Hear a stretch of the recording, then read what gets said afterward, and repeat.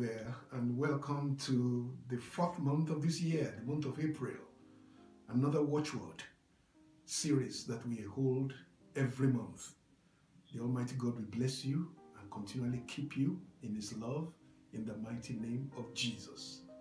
As this is the fourth month, the month of Easter, the month of His glorious resurrection, the Lord has given us another watchword for this month that we stand on, that we pray on, we believe, and we get testimonies as a result.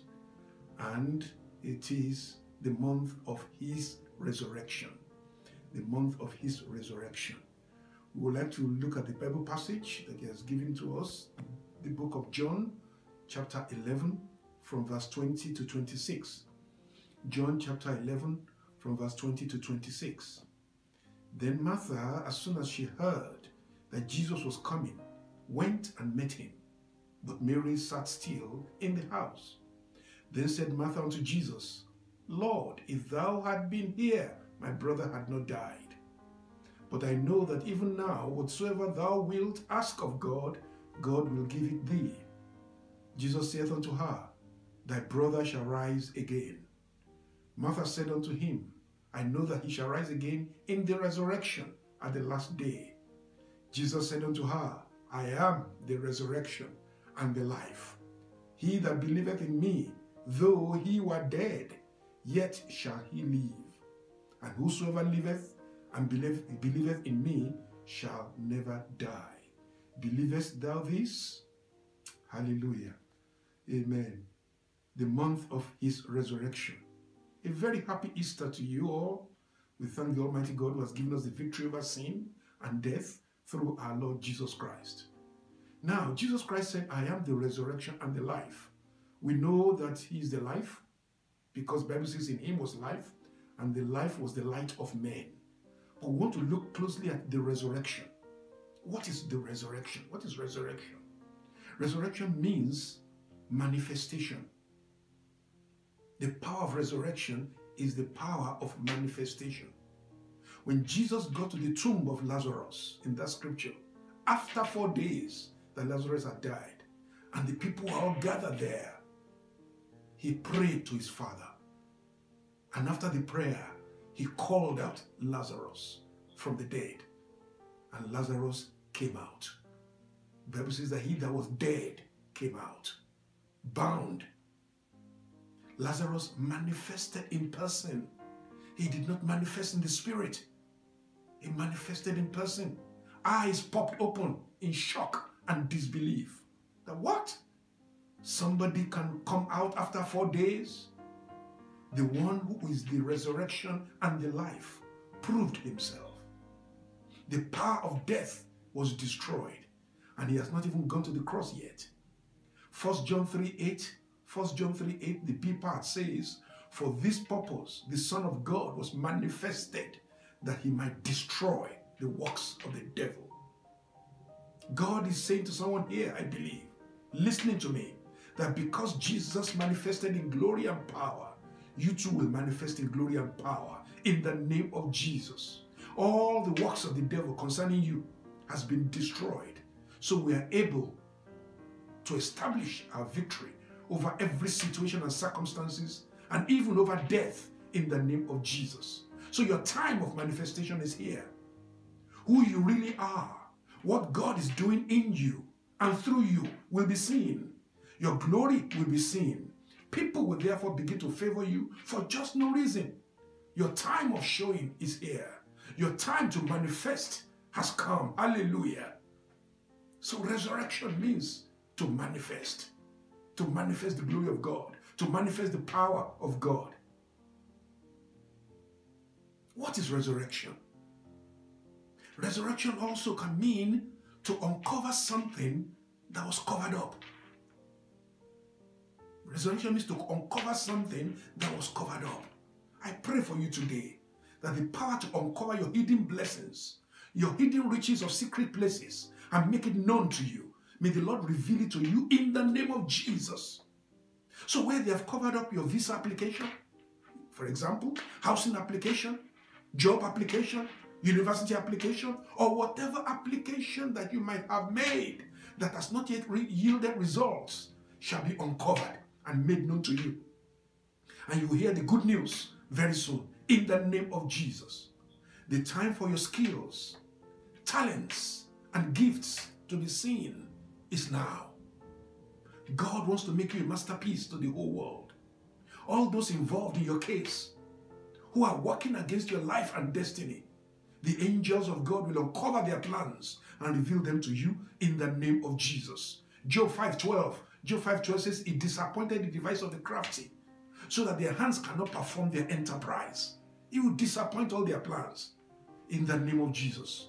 All those who are involved in granting your application, the angels of God will not give them rest until they grant your application in Jesus' name. So, resurrection means something that was covered up that is now uncovered. Also, please note, if I may add, every secret sin too will be uncovered. But it is to make you repent of them so that it doesn't stand against you on the last day. Every secret sin.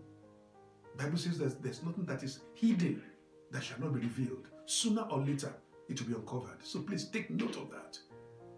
Mary Magdalene came to the tomb after the stone had been rolled away and was able to see that which was covered up. She saw the empty tomb with, the, with an angel inside who spoke with her and told her, He is not here, He is risen. Hallelujah. She saw the napkin neatly folded in the tomb. In this resurrection month, those who have made a mockery of you shall so celebrate with you in the name of Jesus. Why? Because God has given us what is bigger than our minds can imagine by his resurrection. This tells us now that we can achieve what the world will never expect us in our lifetime to achieve. Paul said in Philippians 3:10 to 11, Philippians 3:10 to 11, he said that I may know him and the power of his resurrection and the fellowship of his sufferings, being made conformable unto his death, if by any means I might attain unto the resurrection of the dead. The Living Bible translation says, Now I have given up everything else. I have found it to be the only way to really know Christ and to experience the mighty power that brought him back to life again and to find out what it means to suffer and to die with him. The message version also said, I gave up all that inferior stuff so I could know Christ personally, experience his resurrection power, be a partner in his sufferings, and go all the way with him to death itself. And if there was any way to get in on the resurrection from the dead, I wanted to do it. From this month onwards, may you begin to experience the power of his resurrection, just like Paul did, in the name of Jesus. Brethren, do you appreciate that every night we all fight a battle of life and death? Every night we sleep and wake up is a battle of life and death. And only the winners wake up to see the following day. Do you recognize that? You have seen today and you have victory over death. That death did not take you overnight. Thanks be to God who giveth us the victory through our Lord Jesus Christ.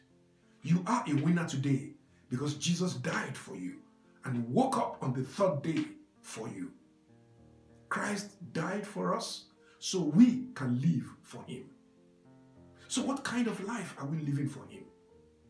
Is it a life well pleasing in His sight, or is it a life that He cannot behold?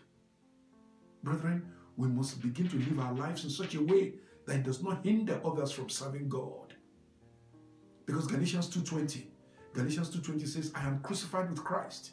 Nevertheless, I live. Yet not I, but Christ that liveth in me. And the life that I now live in the flesh, I live by the faith of the Son of God, who loved me and gave himself for me. We must begin to live our lives in such a way that it does not cause others to sin and to stumble. When people look at us, what do they see? What do they see? I'm reminded of the story in Acts chapter 3 when Peter and John met the man by Gate Beautiful, the lame man. He told the man, Look at us. Look at us. What did that man see when he looked at them? Well, his look caused him to have an expectation, which is the first thing to receiving from the Lord. If you, are, if, you, if you want to receive something from the Lord, you must have an expectation. He had an expectation that they were going to give him money. What you don't expect, you don't experience. He experienced a new life through the power of his resurrection. He was raised back up on his feet.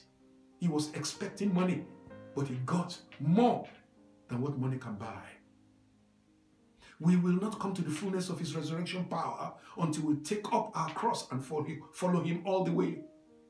The cross will be heavy, but Jesus will give us the grace to bear it. Jesus said in Matthew 16 24 to 25, Matthew 16 24 to 25, if any man will come after me, let him deny himself and take up his cross and follow me. For whosoever will save his life shall lose it, and whosoever will lose his life for my sake shall find it.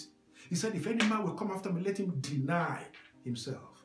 Are you prepared to deny your title, deny your position, deny your achievements, deny everything that you have gathered up and follow Christ? Because Jesus did. He denied his glory. The joy that was set before him, he put it aside so that he can die on the cross for you and I. Ezekiel experienced the power of his resurrection too. In Ezekiel chapter 37, 1 to 10. Ezekiel chapter 37, 1 to 10. One minute the bones were dead, dry, and disconnected. And the next minute there was a shaking, and broken things were mended. Bones began to locate each other. And before we knew it, dead people were brought back to life again. That they became a strong, mighty army. That is the power of his resurrection at work. All your hopes and aspirations that seemed like a pipe dream shall come together again and be restored back to you and will become a reality before your very eyes because of the power of his resurrection. All those things that you never thought possible will begin to happen for you in the mighty name of Jesus. So I want you to believe in the power of his resurrection. Jesus came, left everything, left his glory, left his power, left his joy that was set before him, left his riches to become poor just for you and I, to come and die on the cross of Calvary for us. But thank God, he did not just die alone. He rose up again on the third day. The victorious resurrection. That is what we are celebrating this month. And I hope you'll be able to celebrate that with Jesus himself so that he too can be glad that you appreciated what he has done for you by bringing salvation, reconciling us back to God, not allowing sin to divide us and separate us permanently from our Father. So we give him all the glory. So this month, month of April, the month of his resurrection, I welcome you to this month of his resurrection. Thank you very much for listening to us again. God bless you and have a victorious resurrection month in Jesus' name. Bye.